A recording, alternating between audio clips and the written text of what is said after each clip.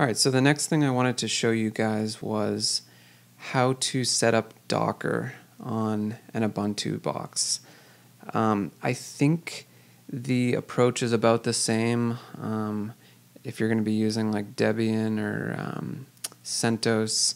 It's going to be pretty similar. Um, this, the, but for, for the sake of this tutorial, we are using the um, Ubuntu box that we set up here um, called tutorials.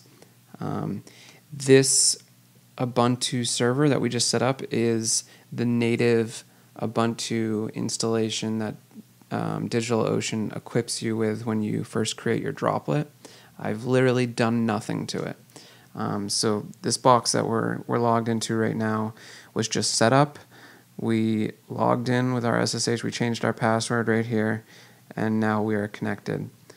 Um, so installing Docker is actually really easy on um, on Ubuntu.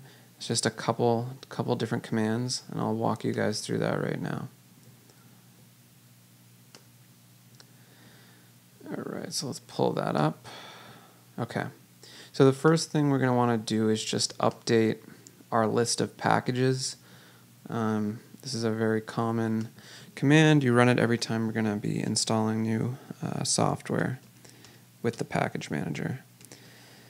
So it's apt get update, and we're doing this primarily because again, we just installed Ubuntu. This is a uh, we we've done nothing with this server yet.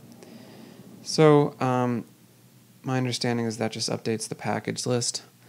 Um, from there, we're going to actually install Docker, and you can use this command right here. Um, these commands are provided in the blog post, so if you can't see it for some reason, you can just reference back into the blog post, you'll be all set.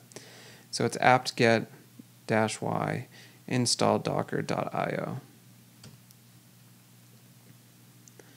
And it's it's relatively quick. Um,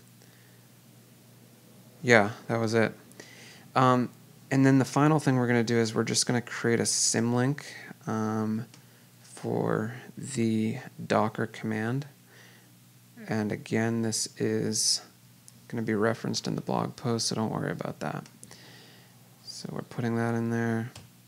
And now the um, we can just, uh, creating an alias, we can just use the word docker and we can run our commands. Um, so I guess the next step is to see, hey, did it actually install? So I'm going to run a couple docker commands. Um, this command lists all the active containers. It's called docker ps negative a. Um, we don't have any docker uh, containers, so we just got the headings for the table here. Um, but if we didn't have Docker installed, we wouldn't have even gotten the header, the uh, the headings. So that means Docker is installed and working. So that's a good sign.